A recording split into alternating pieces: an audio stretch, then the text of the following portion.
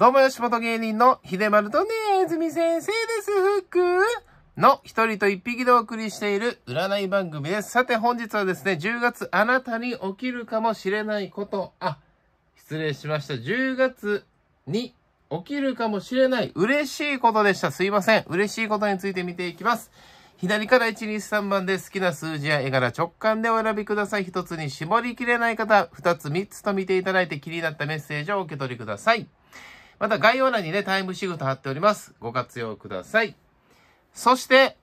個人鑑定プレゼントのキャンペーンやっております。チャンネル登録者数が2000名達成するまでね、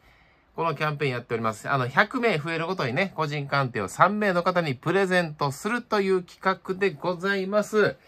この動画がアップされてるのが、えー9月24日ですね。の日曜日なんですけれども、その頃にはまあまだ2000名いってないと思うんですけれどもね、2000名行くまで、このキャンペーンやっておりますので、ぜひね、えー概要欄やコメント欄に応募の仕方とかね、文字に起こしてしっかり書いてあるので、目を通してからしっかりね、やり方を理解されてから応募されてください。個人鑑定を募集しますよ。専用の動画でしか受け付けてないですからね。このご覧になっている動画に個人鑑定お願いしますって言われても受け付けてないんでね。その間違いがすごい多いのでご気をつけください。では早速左手の1番ですね。4 of Fire というカードを選ばれた方のリーディングからやっていきましょう。もういつもと同じでね、行きましょう。右手のカードで10月に起きるかもしれない嬉しいことは何なのか。左手のカードで現状。紫のカードで最後にアドバイスを出したりね。します。で、追加でね、カード引いたりもするかもしれません。現状から全部聖地に直して出していきましょう。吊るされた男、大アルから来ました。ヤングですかね。マジックプレイヤーっていうカードが出ました。はい。まあ、大アルカナとか始まりを表すカードとかね、フォー・オブ・ファイヤーがいいカードやしとか、もういろいろいいカードがいっぱい出てるんで、けどね、ハングドマンっていうね、吊るされた男という、ちょっとね、今、辛抱の時期、忍耐の時期、修行の時期を味わってる方が多いっていうのは、やっぱり一番、そこの一枚ですごくね、他のカードを凌駕するぐらいのインパクトを今僕は感じてるんで、ただね、このね、修行時代がおったらすごく変化起こってくるよっていう風に言われてます。そのね、修行が終わることはまずサブゴールを迎えることであって、そのサブゴールを迎えた後になんか新しいことが始まっていって、大きなこう、良い流れに巻き込まれていく、流されていくっていう展開が待ってるみたいなんで、いつもね、僕なぜかこう、現状を見ながら先のこともちょっと言っちゃうっていうこと多いんですけど、まあ、こんだけ複数のカード見てたらね、なんか見えてきちゃうんで言っちゃうんですけど、そんな感じがします。なんかね、本当今の状態は、好転する時期に向かって修行の時代を迎えられてるというか、あの、修行の時代を過ごされているっていう方が一番の方なんじゃないかなと思いますね。で、ポイントはやっぱりサブゴールを迎えるってことですね。その修行が終わるっていうこと自体がサブゴールなんですって。なんかその修行が終わるときに、終わった後にはすごい経験値とかね、気づきとか、アップデートされてるとか、えー不必要なものが手放されてるとか、そういうね、身軽な状態、心が軽い状態、次に何か始めやすい状態、始めた時に何かを手に入れやすい状態。しかもアップデートされてるんで、前回以前の自分よりも質が高いものだったりとか、未知の経験をするとか、なんかそっちに行くって感じです。なんか本当新しいことが始まる前の今はね、前兆の時期というかね、前段階の時期というか、そんな感じがするんで、そこまで長いことこの修行時代は続かないと思いますけどね。うん。その修行時代は何いつ終わんのみたいなんでリーディング今回してないんで、時期出さないけど、もうすぐ終わるっていうなんか、なんとなくの直感で思いますけどね。うん。とりあえず次進みましょう。10月に起きるかもしれない嬉しいことで出ました。ハッピーハッピーカード出ましたね。ペンタクルの2番ハッピーハッピーイントゥーザーノーンっていうね、未知なる世界に飛び込むみたいなカードですかね。すごいな、ハッピーハッピー来たよ、これ。むちゃくちゃ嬉しいことあるんちゃいます、なんか。これね、もう下手しい、これ、10月の段階でサブゴール、つまり修行期間終わるような出来事起こるんちゃいます、もう。うん。そう読むのが辻褄が合うんで、一番。うん。今言ったことは全部回収されるような出来事起こるっていうのが 出てるんで、だからね、10月に起きそうな嬉しいことは、まず修行期間が終わってサブゴールを迎えてすごい身軽な気持ちになって幸せを感じれるっていうことが起きるから嬉しいってなる。で、同時にやることが変わる。取捨選択を行った後にやるべきこと取り組むことが変わっていく。でそれがね、新しい世界、未知なる経験につながることに取り組まれていくっていうふうに出てるんですよね。それによって、なんか希望が具現化するとか、願いが叶うとか、10月に叶わない。10月には叶わない。10月にスタートしていくと叶う。だからなんか願いが叶うロードみたいな。プライ、プレイロード言うんですかねなんかね。はい。願いが叶う道がスタートしていく。希望が具現化する道がスタートしていくっていうのが10月っていう感じがするんですね。うん。だ修行期間が終わって新しい道がね、始まっていく幸せのみたいな。でしかもそこはや、やることが変わったりとか、未知なる経験ってことに縁があるみたいです、今度は。うん。そっちで幸せになっていく道が始まっていくのが10月に起きる嬉しいことちゃうかなって思いました。アドバイス、You've got power 出ました。あなたはできますよ、大丈夫ですよっていうね。あなたはね、自分が持っている能力を過小評価してたり、または気づいてないところがあるみたいです。普段日常で生活してて自分ができることって当たり前にできることって当たり前にできるから他人から見たらすごいと思ったりするんねんけど自分は当たり前だから何も気づかないんです。逆にね。普通にできすぎちゃってて。うん。だからそれを周りに褒められたりとか周りと比べることによって自分ってすごいんだなって気づかされるっていう現象をあの感じる体感できるんですけどまさにあな、今のあなたそんな感じで、このね、今のあなたが持ってる能力、才能、すごいところ、他人から見てすごい、他人と違うとこがあるっていうところが、活かされる分野が、これから、あの、10月に起きる嬉しいことで言ったとこの未知なる経験とか、やり、やることを変えるとか、それと繋がってる感じがするんで、周りの人から褒められたことがあるとか、自分は大したことないとか当たり前とかって思ってることの中で、周りの人から褒められたとか、他人の人と比べてみたときにね、あ、これってなんで私はできるけどあの人できないんだろうとかね、いうこと。僕のリアルな体験談からね、参考になればと思って体験談言わしてもらいますけど、イライラすることってないですか？なんでこんな簡単なことできひんねややらないんだろうって、不親切なんから性格悪いんかなって思ったことありません？なんか、何でもいいんですよ。お店の人でも友達でも仕事場の人でも何でもいいんですけど、それってね、実はイライラするっていうことイコール自分はできるってことなんですよ。なんでできるのやらないかなって思うからイライラするんですけど、ほとんどの場合で、それは他人さんはできないことなんですよ。できないからやってね、悪気なくできてないんで、悪気がない、ないんですね。悪気はない。できてないことに対して悪気はないんだけど、ほとんどの場合。でもこっちは当たり前にできることやから、標準装備で備わってることやから、相手も標準装備で備わってるからできるやろうと思ってたら、いや、できへんのかいみたいになって、で、その時って感情的になってイライラしようからそこまで考えれないんですよね。ただイライラする。なんでやってくれへんのって思うんですけど、後になって冷静に考えてみたら、あ、あの人にはその能力がなかったんだ。で、自分にはその能力があったんだって気づくんですよね。ああ、これって自分は、はできる。もちろん他の人もできる人おるけど、たまたま今の自分の身の回りではね、自分しかできなかったんだ。ということはこれ、世間の大半の人ができることじゃないことなんだな。ああ、これって結構特別というか、自分の得意なこと、特技、能力、才能っていう分野のことなんだなって気づかされたりすることってないですか？僕はそういうことがよくあって、だからね、冷静に立ち返って考えるんですよ。あ、イライラしとる場合じゃないと。これはだから、できへんからやってないだけで、相手さんがね。うん。これは自分にはたまたまできることなんだ。はあとかね。思うんですよ。うん。そうそう。例えば僕みたいに芸人を長年やってるとね、まあ、芸人始めた頃の自分よりはやっぱり喋り上手くなってるわけですよね。でも自分では全然まだまだやなって思ってたり、芸を磨いてるんだも思ってないんだけど、やっぱりこう、久々に昔自分がね、あの、出演者ラジオとかをね、何年も前のやつ聞いたりすると、あ、めちゃめちゃ下手やんってね、なんでこんな下手な喋り恥ずかしいわとかって思ったりするんですよね。でも相当成長してるわけですよね。なんかそんな感じで、当たり前になってて気づかないことがあってあるんですよ。あなたの中にもこう気づいてない能力、才能のところでね。それは実は他人から褒められないと気づけなかったりとか、比べないと気づけないってことで、でもそれは、それがはっきりするんですって。私こんな能力あった、才能あったわって。これすごいことなんやって。うん、そういったことは結構いろいろ持ってる方だから、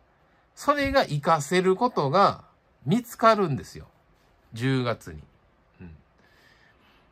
で、修行期間も終わるっていうダブルの嬉しいことがあるんで、すごいハッピーハッピー嬉しい嬉しいってなるみたいなんですね。で、そしてあなたはその新しい道にね、自分が幸せになるために、望みを具現化するために、その未知なる世界へ飛び込んでいくっていうことをしていきそうです。はい。まあ、ざーっと、バーっと感じたこと思ったこと、バーって言っちゃいましたけど、伝わったでしょうか？うん。だからね、多分ですよ。まあ、占いは未来を決定づけるものじゃないんですけれども、僕が思うには、今辛い時期に修行時代にあるような方は、もう10月中にはそこから抜け出すっていう風に出てます。このカード上は。うん。で、身軽になったあなたに、その、やるべきこと、何かね、周りの声なのか、流れなのかで、気づかされてね、自分の能力にね。で、気づくと同時に、なんかその能力を活かすような道がこう示されていく、導かれていく、目の前に現れるとか、自分で気づいていくとか、そこまで細かいことはね、あの、千差万別なんで分からへんけれども、何かの形であなたがそっちの未知なる経験の世界の方にね、こう、進むような流れに入っていきそうですよ。それがあなたにとって嬉しいって感じること、幸せって思うことなんですって。うん。なので、その流れ、まあもちろん逆らう人いないと思うんで、そんないい流れね。どんどんその流れに乗っかっちゃって、素敵なあなたにね、なってどんどん、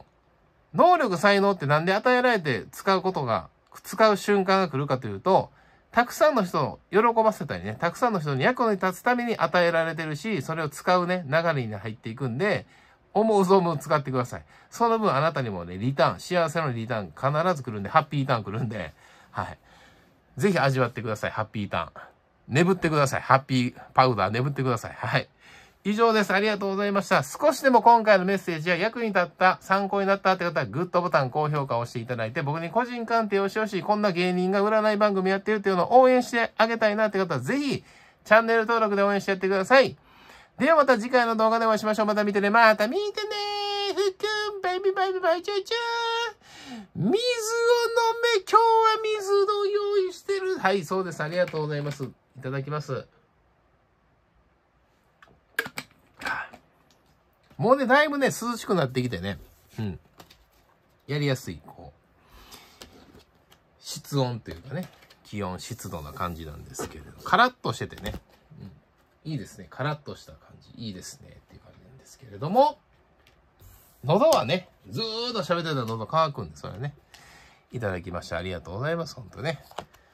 はい、では2番を選ばれた方行きましょう。えー、ハーミットですね。大アルカナハーミットが出ました。2番の方。9番、このこのカード選ばれた方のリーディングいきましょう。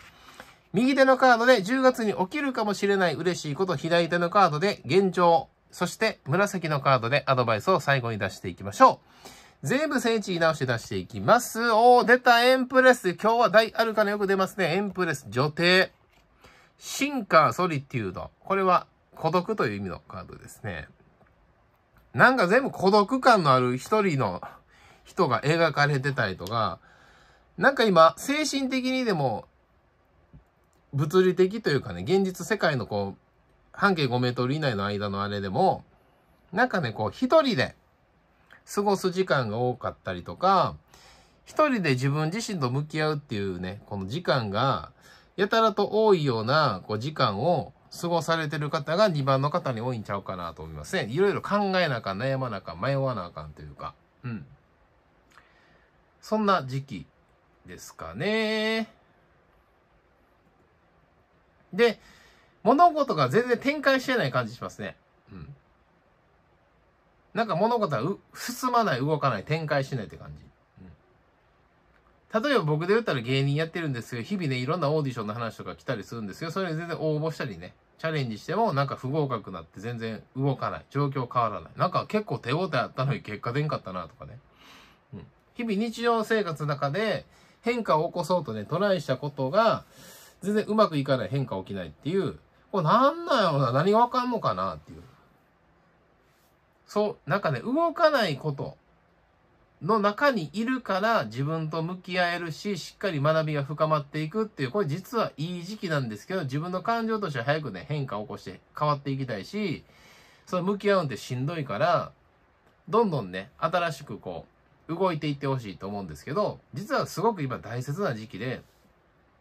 この流れにも逆らえないようになってるんですよね。無理にもがいて動けば動くほど苦しくなるしんどい状況やってくるんで、あ、これはもうだから自分と向き合って、なんか気づきを発見するとか、自分なりの答えを見つけるとか、なんか落としどころを見つける、なんか現状の中で幸せな部分を見つけるとか、なんか受け入れる、今の自分のこの現状を受け入れる、良いとこも悪いとこ、特に悪いとこね、もう中心に受け入れていくってことが、次の発展、スタートにつながっていくってことなんですよね、きっとね。まあ、よく宮明宏さんがおっしゃってるのは、このうまくいかない時期は、こう、内に閉じこもってね、こう、知性を膨らませるために、扉は閉め、閉まってる扉まで開かないんだから、知性をね、膨らませて、扉が開いた瞬間に、その知性、知識を活かしてね、活躍していけるように、まあ、その、貯めておく時期、力を蓄えておく時期だみたいなことをおっしゃってた。ね、NHK の番組、たまたま僕そういうリアルタイムでね、見てたんですよね。それが後にバズってね、今でもいろんな、えー、TikTok やなんやかんやでショート動画で上がってたりもしたりもするんですけど、はい。それが発端となってね、あの、宮さんってだからそういうね、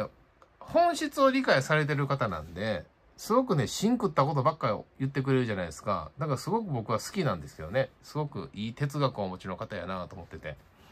だからね、この扉が開かないっていうことはやっぱり意味があるし、タイミング待ちのとこがあるんで、その時やっぱりね、動くんじゃなくて静かにそのね、開く時を待ちながら、自分にできることをするってことですよね。うん。そう。切り替えてそれをするっていうことですよね。うん。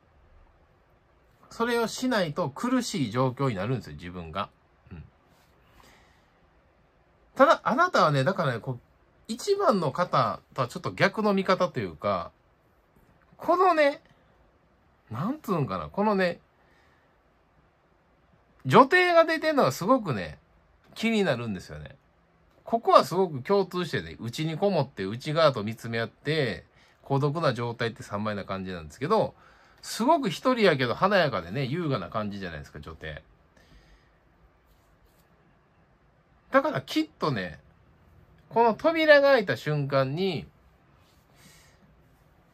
かなり速いスピードでね、こう、好転していくようなこと起こりそうやなと思うんですけどね。ちょっとね、なんか見えない。見えないから次進みます。うん。またダイヤルから出た。10月の、10月に起きるかもしれない嬉しいことで、女教皇とイマジンとカミングトゥーライフって出ましたね。めちゃめちゃダイヤルから出るやん、今日。どうなってんねや、これ。へえ、なんやろ、女教皇と女帝。はあ、すごい。2番と3番やしね。連番やし。カミングトゥーライフなんかもう新しいものをなんか掴み取ってますよね。あ、これは良さそうっすね、10月。うん。まさにさっきたまたま言った僕は知性。知性を膨らませる時期だ。宮さんのね、話から引用したこと言いましたけど、まさに知性のカードですよ。女教皇言うたら。うん。その今あなたが蓄えている知性が豊かさとなって帰ってくるような出来事が10月に起きる嬉しいことでまずありそうなんですね。で、その溜まった知性を活かすような新しいこう生活、新しい仕事、新しいこう自己実現に関することとか、なんか新しく取り組むことに関して、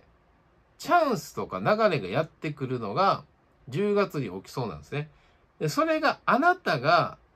イメージしてるようなこと、ポジティブな気分の時にイメージしてること、うん。それが不安を打ち消すような嬉しい、こう、イメージしてることが具現化する。プラス、それがきっかけとなって不安を打ち下す、打ち壊していくようなこと。で、新しい成果、ちょっとまとめますね。だから10月に起きる嬉しいことは、まずね、あなたがイメージしてる、こうなったら私展開として嬉しい、こういう展開が欲しいなってことあるじゃないですか。もちろん、僕よく普段からショート動画の占いでも言ってるけど、執着まみれのこととか、私利私欲を満たすね。あなたそれ少女漫画読みすぎちゃうみたいな 願い事って、まず叶わないんですよ。そんな漫画の世界じゃないないんでね。はっきり言っちゃって悪いけど、絶対そんなこと起きないんですよ。なんかもうなんかすごい夢見、ふわふわしたことすごい思ってんな っていう人いるんですけど、そんなこと起きない。漫画の世界じゃないから。そういうことじゃなくて、あなたがイメージしてることの中でも、執着心がないとか少ないとか、そんなふわふわした考えとか、足、足元地についてない、地に足元ついてないとか、私利私欲満載のことじゃないことで、イメージすることっていうのは何かというと、頭で考えることじゃなくて、心の内側から自然となんか知らんけど、これ、無思考、無意識の時にバッて湧いてくることなんですよ。なんでこんなイメージ湧いてくんだやろうってことなんですよね。別にその自分の思考の息がかかってない内側から来るイメージすることが叶っていくんですね。はい。ここまで言って誤解がないように伝わってますかね。はい。ここまで言わないとなんか私利私欲満載の願いがあって、ボタンの掛け違い起こっちゃうんで、ここ大事です。すごい大事なんでね、強調してお伝えしました。で、その内側から湧いてくるイメージが具現化することによって、あなたの生活が変わるとか、チャンスをつかむとか、いい流れに入っていく、なんか新しい生活のスタイルに変化していくような流れに入っていくとかっていう、もちろんそれが幸せにつながってるあなたの。なんか蝶々来てるんだ、ここに。あなたが幸せになっていくことに関して、生活が変化するような流れに入っていくんですよ。で、その時に、この今、この一人で内側と向き合って知識を蓄えてる知性、知性を膨らませてる自分で哲学してね、自分の中で気づきを得ようとしてる。それが役に立つような来る。あの、役に立つような時が来るんですって。その知性を活かして発展にこの拍車をかけていくような出来事が起こっていくっていう。だから今やってるしんどいこと、無駄やな、何の意味があんだよ、ってくれよってことは、一切の無駄がないんですよ。うん必ず後に生きてくることが起こるから今ちょっとジムで筋トレして体鍛えといてね、後で筋肉使うことになるからね、みたいなことなんですよね。そう。ちょっとね、知性を蓄えるっていうことは筋力をね、つけることとすごく似てて、時間がかかるししんどいしってことなんですよ。でも、後にすごく役に立つこと。うん。なんで、心の筋トレみたいな時期やと思うんですよね、今ね。ただ、それがすごく役に立つし、もう10月って目前のね、こうリアルタイムで見通してるからしたらもう目前ですよ、10月なんて。その10月に具体的にどんどんね、もう、肉眼で捉えれるレベルで、ボンボンボンボン目の前のね、景色が変わっていく、好転していくようなことが起こるっていうのが、10月に起きるかもしれない嬉しいことっていう風に出ました。アドバイス。神、えっ、ー、と、コネクトウィズネイチャー。このカードよく出んな、最近。うん。自然と繋がりましょうってカードなんですけど、やっぱりそこにも蝶々が飛んできてるんで、うん、やっぱり幸せがあなたのもとにね、こう、どんどんね、今引き寄せられてる状態みたいですね。で、それがね、自然体のあなたでいるときに、やっぱり蝶々がやってきてるんで、やっぱりね、頭で思考するとか、合理性とか、そういった考えの時って、まずうまくいかないことが多いんで、たまたまうまくいくことあるけれども、合理性をね、なるべく捨てていってください。はい、合理性ではなくて、感覚、自然体。これをポイントに過ごしていってみみてください、日常。こうした方が合理性やな、失敗せえへんな、損せえへんな、得やな、効率ええなってことじゃなくて、こうしたら効率悪いし、損したり失敗するかもしれへんけど、ナチュラルな自分の選択はこっちだな。ナチュラルの自分で入れるなっ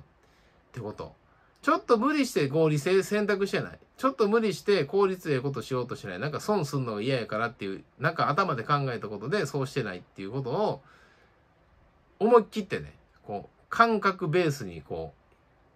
う、振ってみるというか、うん、自然体の自分で過ごせるには、ちょっとね、損することとか失敗することも出てくるかもしれんけど、そっち試してみようって感覚でいくと、あら不思議、そっちの方がうまくいくやん。逆に損せえへんやん、失敗せんかったやんってことが、ただ出てきそうですね。うん。いかに自然体の自分の方がうまくいくか、魅力が発揮されるか、物事がスムーズにうまくいくかってことを体験できるようなことが起きそうなんで、ぜひね、コリコーにな、ホリエモン流に言うたらね、コリコー。コリコーな人うまくいかないって話を言ってますよね。コリコーなったり合理性をね、重視したりと合理主義とかね。効率が失敗はしてはいけないみたいな、そういう頭なりがちなんですけど、我々特に現代人になりがちだけど、そこを思い切って、ならないようにならないように自分の感覚感覚自然体自然体っていうのをちょっとトライしてみてみるといいかもしれないですね。そ、そこに幸せの蝶が舞い込んできてるんで、はい。ぜひね、あの、実験、実践、検証してみてください。はい。これがアドバイスできております。では、以上が2番の方へのメッセージでございました。ちょっと今役に立ったよ、参考になったよという方はね、グッドボタン、高評価ボタンを押していただいて、僕に個人鑑定してほしいな、僕のこの芸人が占い番組やってるって番組、ちょっと楽しかったら応援してあげたいなって方は、ぜひチャンネル登録で応援してやってください。あなたの応援がすごく大きな応援に変わっていきます。いつもありがとうございます。これからもよろしくお願いします。ではまた次回の動画でお会いしましょう。また見てね。また見てね服水を飲もうね、ふっぴゅーぴゅっぴゅ言う前に水を飲もうね言っちゃうっていうね、ちょっとね、テレコになっちゃうっていうことも出てきたんです。すいません、いただきます。はい、水はやっぱり飲まないとね、定期的にね。なんかね、1.5リットルぐらいね、飲むといいよ、なんてね、ありますよね。ほんまか嘘かわかんないけどなんだね。うん。だから、食べ物とかそういうジュースとかね、カフェインが入ってる利尿作用が強いもの以外のもので1.5リットル純粋に水を取ると、体にいいよというね、話、一説ありますけどね。まあ、どこまでほんまかわからないし、人にもよるやろって話なんですけどね。僕はなるべくでも、1リットルか1.5ぐらいはね、一応飲むようにはしてる。僕は結構、あの、足らなくなるんでね、水分がね。飲む派ですけど、皆さんはどうでしょうか？水が合わないって人、黒柳徹子さんみたいに水が嫌いで飲まないっていう人もいますからね。あの人ほんと水飲まないらしいですよ。え、どうして生活してんの？いや、私フルーツで水分取るのよって言ってましたよ。はい。はい、すいません。余談挟みました。戻りまして、3番を選ばれた方、キングオブファイヤー。こちらのカードを選ばれた方行きましょう。紫カードで最後にアドバイスを出して、右手のカードで10月に起きるかもしれない嬉しいこと、左手のカードで現状を出していきます。全部聖地に直して出していきましょう。カップの4番、メイキングはチョイス、トイジャーアイランドの3つ出ました。またカップの4番です。さっきちょっと僕ね、あの、ショート動画のね、文章の占いやつバーって作ってたんですけど、その時も出ましたね、カップの4番ね。はい。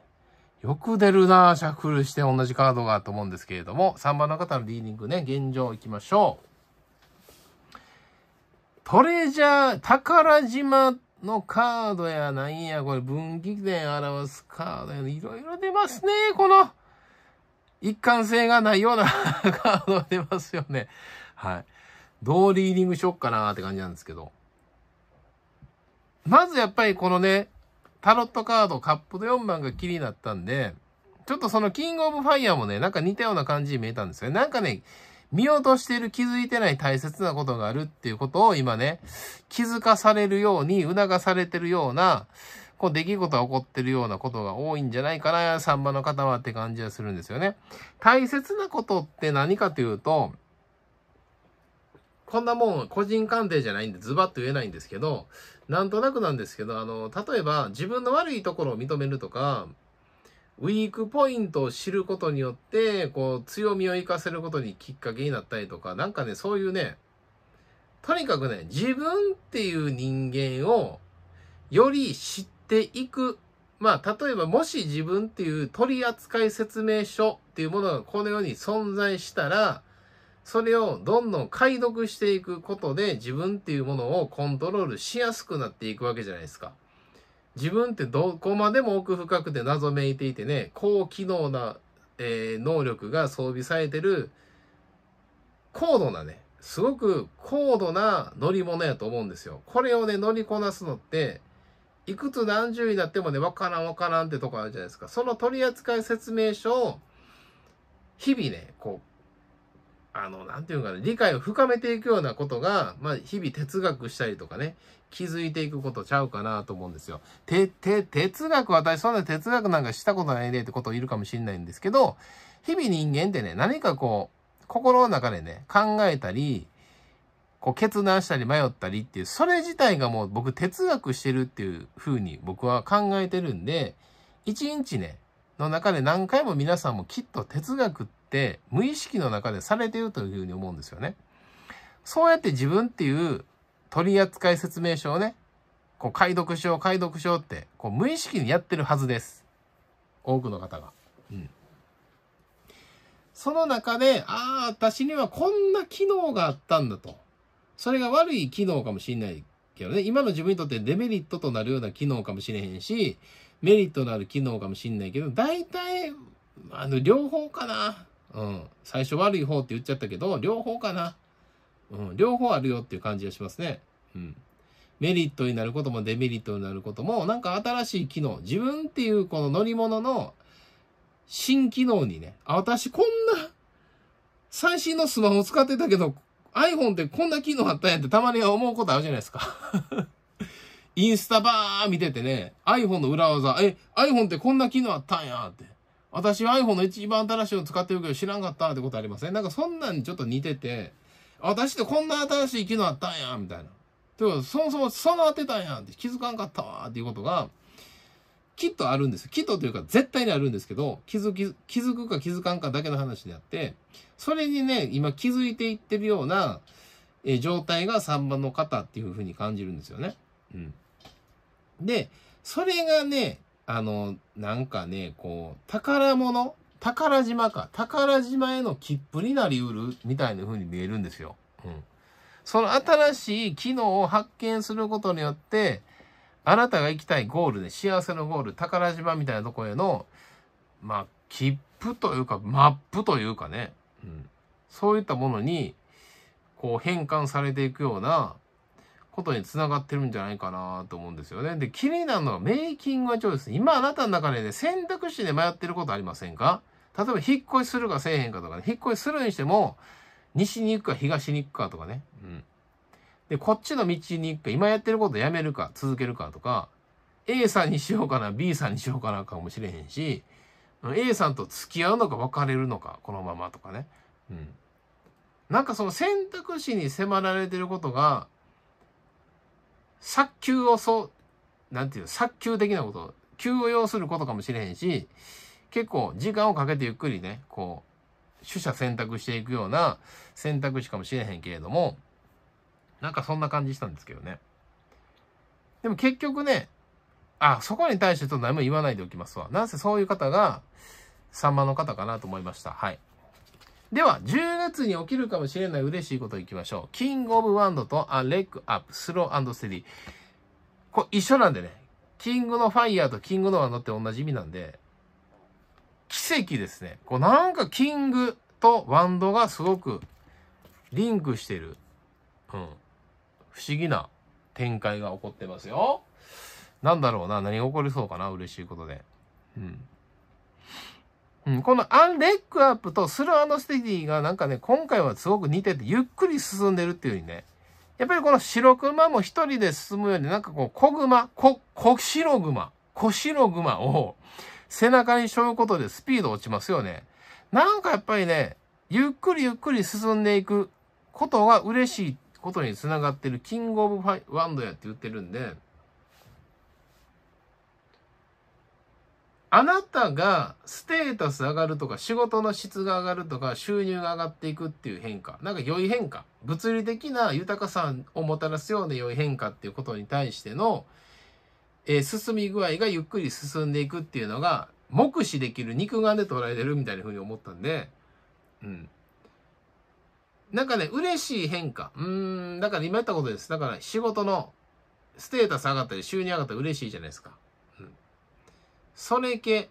で、自己実現に関することとか、自分が情熱を持って何か取り組んでることとか、お金とか仕事とか関係なかったとしても、それがゆっくりと好転に向かって進んでるっていうのは目視できるっていうことが、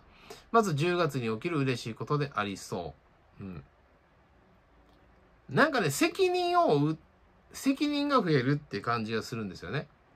うん。責任を嫌う人多いけど、これね、やっぱりね、ステータス上がるとか収入上がると、やっぱそれだけ役割が増えるんで、責任もね、重たくなるもんやと思うんですけど、うん、なんやろな。でも、それが増えるって言われてますね。それが嬉しいことにつながるんで、やっぱりそれが、あれでしょうね。責任は嫌だ、嫌だけれども、その分収入とか、ステータスとか、活躍の幅が広がるとか、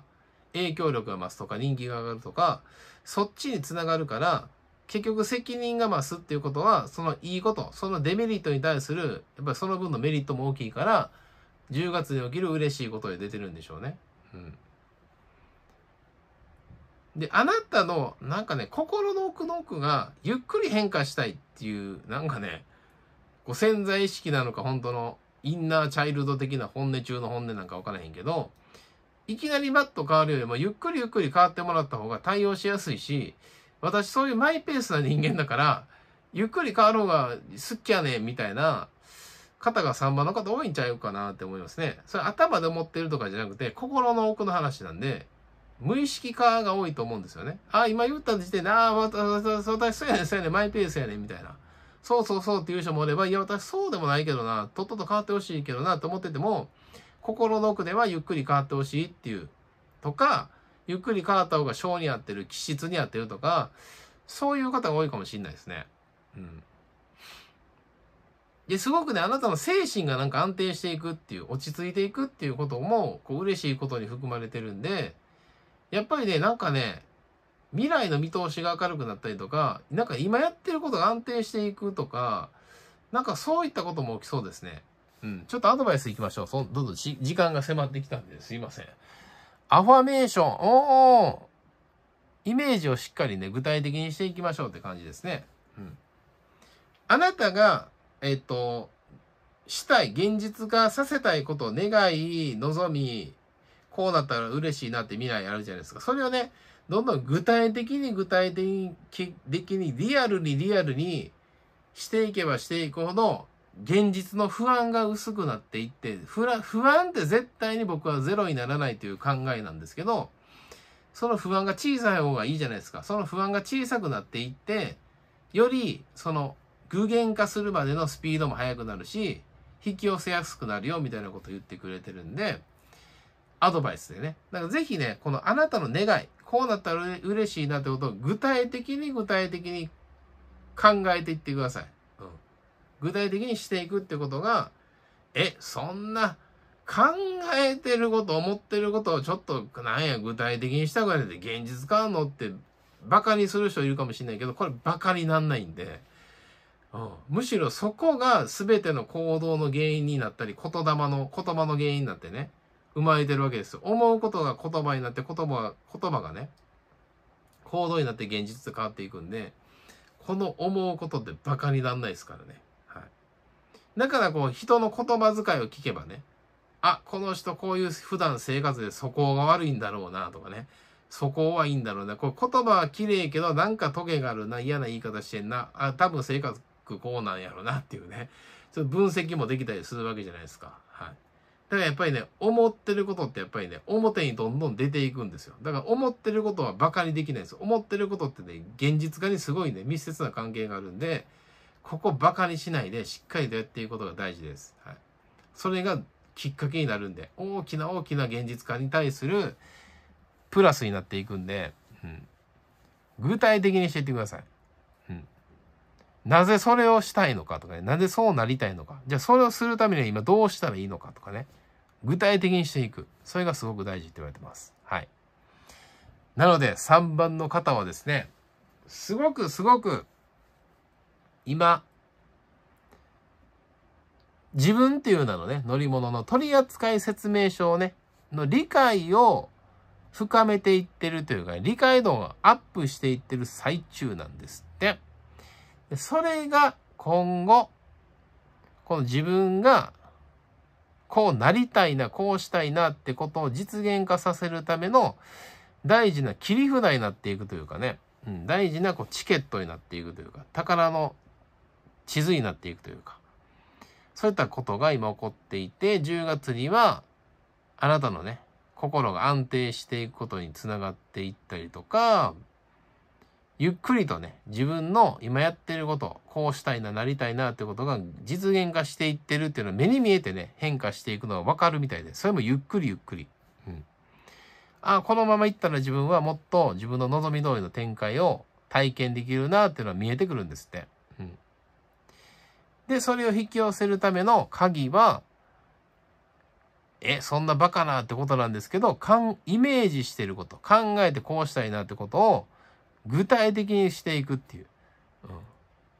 それが大きなきっかけになるよって言われてるんで、ぜひね、実践、実験、検証してみてはいかがでしょうか。はい。これが3番の方へのメッセージでございまして、いかがだったでしょうかちょっとでも参考になったよって方はね、高評価ボタンを押していただいて、こんな芸人が占い番組やってるっていうね、応援してあげたい。また個人鑑定見てほしい。って方、ぜひチャンネル登録してお待ちください。さあ、いかがだったでしょうか？本日のリーディング。よかったら感想とかね、またリクエストもね、お待ちしております。全部を採用するわけではないんですが、よかったら書いてみてください。では、また次回の動画でお会いしましょう。また見てね。また見てねふく、ふく、ふくふくふく、あー、ふくふくねずめバイビー、また見てね。ピューピュー